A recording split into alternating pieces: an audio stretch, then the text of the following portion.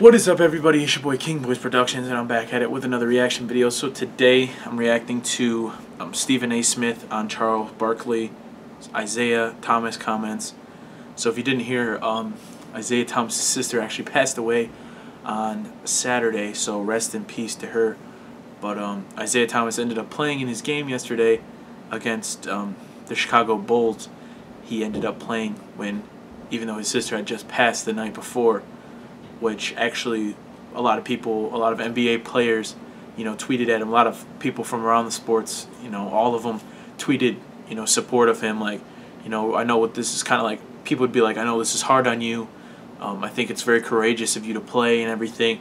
But basically, then Charles Barkley said that he shouldn't play. He's it's stupid for him to play. Um, that he's going to be a um, not an asset, but like the opposite. I can't even think of the word. Not not a liability. He's going to be a liability to his team if he plays this game because of his emotional state and everything. So um, that's what that's what Charles Barkley said. If you didn't know, so we're going to look and see how Stephen A. Smith, who is very passionate on topics. If you don't know who Stephen A. Stephen A. Smith is, you need to know because he's very passionate on topics that people see a lot. But um, let's just get right into the video here. On a much more somber note, Isaiah Thomas played under incredible circumstances last night after finding out that his sister and it looks kind of jacked up because it was aired on TV, so they probably couldn't post it on YouTube. Like, with watching. but they probably couldn't play it on I'm not like a full thing. But here it is. With him sitting on the sideline crying like that, uh, that makes me uncomfortable. So that tells me uh, he, he's not in, in shape to play. I mean, I don't know how this night's going to turn out, but to be sitting on the sideline a few minutes before the game crying, uh, that makes me uncomfortable for him. Uh, that's just that's just not a good look, in my personal opinion. Before I before I talk about this, I just want to say, I mean, it's not a good. He says, "Oh, it's not a good look." It's not a good look. What are you supposed to do? His younger sister had just passed less than 24 hours before this this whole thing had taken place. So what do you want him to do? But I think what, he, what was going through his mind was that's what his sister would have wanted him to do was to play this playoff game. And I think that's what he what he thought was going through his head. But how would you not feel emotional? You know? It's Easter Sunday. It was Easter Sunday. And all his family was, you know, grieving. And he couldn't he would he wasn't with them. Uh, so of course you're going to feel some emotion. And that's what ticks me off about what Charles Barkley said. And he can he can say whatever he wants because guess what? He can, he can have his own opinion, and I'm not saying it's his opinion. He can think what he wants. But for this situation, I think he should have just shut his mouth. But let's get back into the video. Okay, back with us. Good to see you. Max, I want to start with you. What's your reaction to Barkley's comments there on Isaiah Thomas being emotional? Well, he was ready to play, first of all, Isaiah Thomas. But you have to be so careful um, I think I know what Barkley means. Still, you have to be so careful the way you phrase things when someone's family member passes, especially tragically. And, and my mind immediately went to the Todd Heap tragedy, and the headlines about Todd Heap everywhere were, and I apologize to the Heap family for even repeating this, I'm, I'm simply stating what the headlines were. Todd Heap accidentally, it's hard for me to even say, you know, the, the tragic ending for his three-year-old Oh, yeah, I did hear about um, that. And I was getting angry at the headlines. Because in these situations, people, you look to blame. Your anger needs an object to take. And in the absence of something better, you can get mad at at a, a, headline writer or, or a pundit on television who's expressing something. You have to be so careful. I, it, were I writing the headline about Todd Heap, for example, I would simply say something like, you know, Heap family tragedy. And if someone was interested, they can click and read about it. But I found it distasteful and exploitative, even though I understand it's getting out information. To even put the details, even as many details as, as there were, in the headline itself, because it's such an excruciatingly tragic and painful moment for that family. And I, I had the same kind of reaction to Barkley saying what he said. Um, I understand he was getting a point across, and Barkley, what makes him great on television is that he just tells you what he's thinking. But in this case, I would have liked to see a more careful filter um, because of the, you know, it, because of the particular kind of level of pain it causes the family. Yep. um, um, Uh-huh. who you're talking about. Yeah, Max, I can't make sense of what Charles is saying. And now, I have the utmost respect for Charles Barkley as an independent thinker, as I someone without really. a filter, and who does this, I think, very clearly, not an attempt to get attention, anything he ever says, No. but in a searching Yeah. attempt to find truth. I think that's what he was doing here. I think he was trying to find insight and truthfulness and telling us what he might have thought as a teammate. I just can't find where he's right in this in any way. Is he making his teammates uncomfortable? Is that what Barkley's saying? Is he uncomfortable with Thomas playing? I don't know. What I do know is this there are many people who show up to work while going through personal hardships. Mm-hmm. Some when it's tragic. I know that I've had that situation in my life, Max, and I know very well that you have had it yourself. Without trying to make a trite analogy, it's like one of those flashbangs that goes off in your life like they have in the movies. Everything goes numb. You know, you can't, it's almost like you can't That's hear, actually a you can't really see, good everything analogy is that he boxed just did out except what just happened to you. And I just saw Isaiah Thomas do one of the most tough things that I can imagine. And that show up onto a basketball court and not just perform, but perform at the highest level 33 points, shooting over 50%. You can have John Wall's performance this weekend, as far as I'm concerned. You can have Draymond's. You can have any other performance from this weekend. I'll take Isaiah's. I will ride with Isaiah through this entire playoffs. A guy like that is the that is the definition, the embodiment of toughness. And I don't know how, in any way, he could have made anyone uncomfortable. That team, this league, is better for us for Isaiah Thomas. Well, first of all, I think it's important to point out. I think that Barkley made that statement prior to the game. So, in other words, Isaiah Thomas was about to play. Uh, usually, when you're televising a game, these guys are out on the court shooting and what have you, and the cameras are following them, showing footage of them practicing, prepping for the game. And you saw him sitting on the sidelines in tears, and Avery Bradley was the only one that had to go over to him because obviously they're friends because they grew up in, in, in you know in neighborhoods near one another.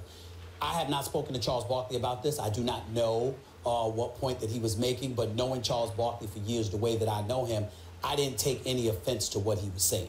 What I deduced from what he was pointing out was that to see the guy, your star player, in that state of mind, you're not saying it as a criticism. You're saying it's uncomfortable because you realize it's so devastating to him, you don't know what to do. And as players, So this is the one time I think I really am going to disagree with what Stephen A. saying.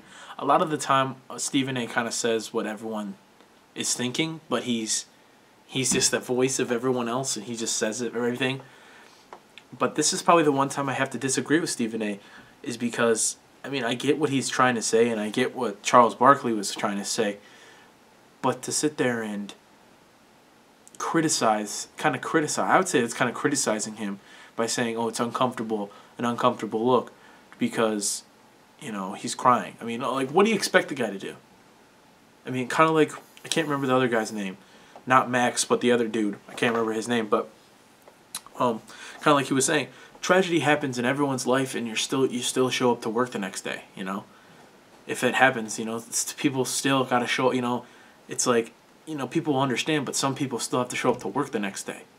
So it's not like it's but tragedy happens to everyone. It's I'm not saying, and I'm not saying that oh, Isaiah Thomas is is, you know, different than everyone else because he, he, he he's kind of different.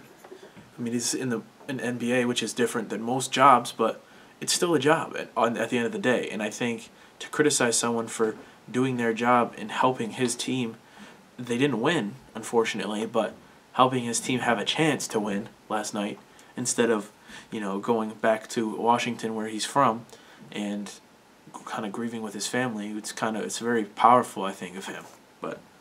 Let's hear what Stephen A has to say again. And as teammates, yeah, you have an obligation to go out there and perform. And your sister was not the one that died in a car accident, but you love him.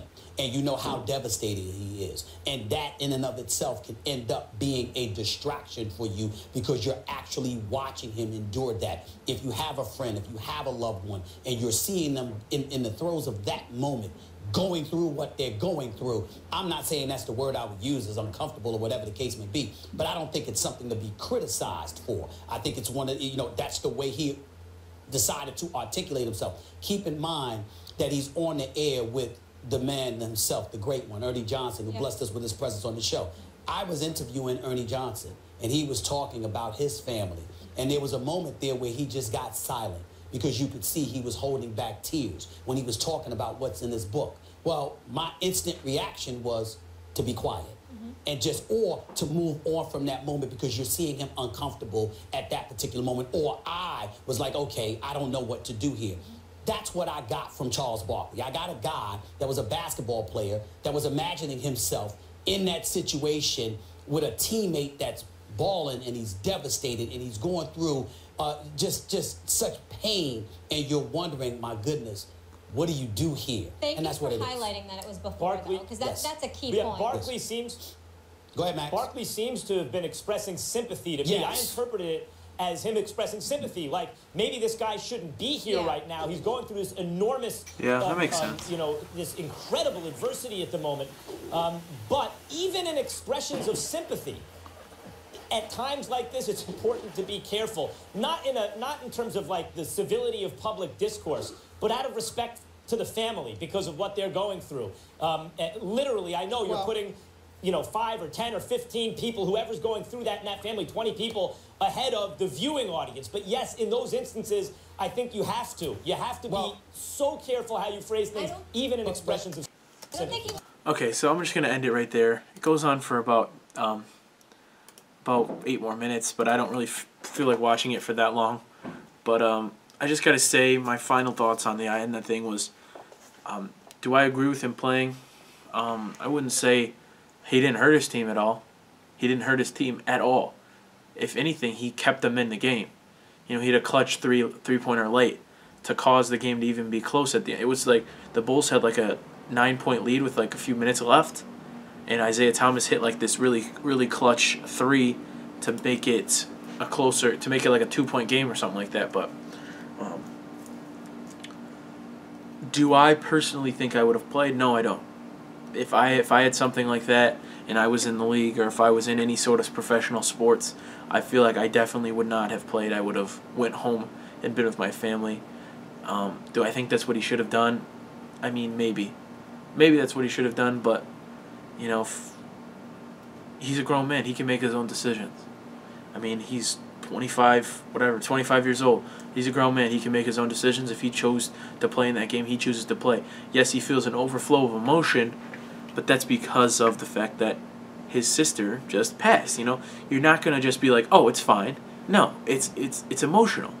You know, your sister's is it's gone, eh, whatever. But you're gonna feel emotional. It's not just gonna go away in, in two seconds. You're just gonna oh be like, "Oh, it's fine. It's gone. She's gone. Whatever." No, it's gonna be emotional, and I understand that. I under, I kind of understand what Barkley's saying when he, oh, okay, maybe we shouldn't have this happening. Maybe we shouldn't have this guy playing, but he chose to play, and he chose to do it. So you can't really fault fault anybody, and it can't shouldn't really make you feel uncomfortable because the guy chose to play. If you know, if it was another way around, like Brad Stevens had said, you have to play. We you can't miss this game. If it was like that kind of situation, then I would understand, you know, being uncomfortable with him playing and everything. Because he was forced to play rather than he chose to play. He chose himself. He's a grown man, he can make his own decisions, and he chose to play in that game. So that's why I personally don't feel uncomfortable at all. Um, but if you did like, please leave a like. Please subscribe for more videos. I'm trying to do some more um, kind of talking, not talking, like sports videos and stuff. But um, but thank you for watching, and until next time, it's your boy, King Boyce Productions. Before I go, actually, like a little PS. Um, leave your comments of what you think um, down below on this whole issue. I want to know what you guys think about it. I want to know if you guys are kind of siding with Charles Barkley more, where you say it's uncomfortable. Can't even see my hand like here, or if you're kind of like with me in in Max Kellerman, kind of like saying that it's not, it's just what it is, you know. But um, but yep. Until next time, it's your boy King Boyce Productions. Squaw.